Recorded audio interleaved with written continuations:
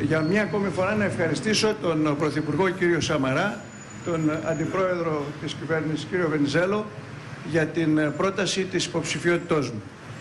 Αποδέχθηκα την τιμητική αυτή ε, πρόταση με το αίσθημα της εθνικής αποστολής και όχι με την προσδοκία του αξιώματος.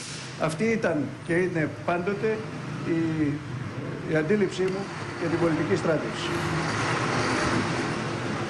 Η εκλογή Προέδρου της Δημοκρατίας από αυτή τη Βουλή θα ήταν η ορθή επιλογή.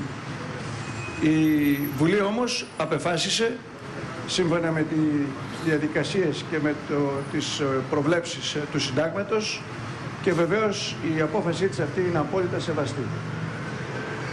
Η μία εκλογή Προέδρου της Δημοκρατίας και η υποχρεωτική προσφυγή στις εκλογές παρατείνουν την πολιτική αβεβαιότητα.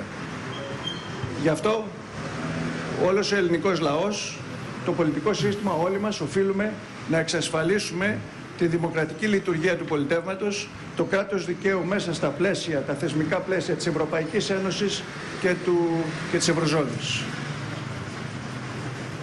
Περισσότερο από οτιδήποτε άλλο, αυτή τη στιγμή τώρα ε, σημασία έχει το συμφέρον της πατρίδος και του ελληνικού λαού.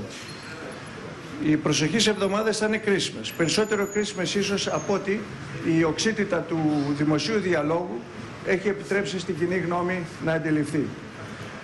Γι' αυτό όλες οι πολιτικές δυνάμεις, οι κοινωνικές δυνάμεις έχουν υπέρτατο καθήκον να αντιμετωπίσουν με ψυχραιμία, νυφαλιότητα, με ειλικρίνεια, με αίσθημα ε, ευθύνης και με πρόθεση συνένεσης τις ε, μεγάλες ε, και πραγματικές οικονομικές ε, και διεθνοπολιτικές προκλήσεις τις οποίες αντιμετωπίζει η χώρα μας.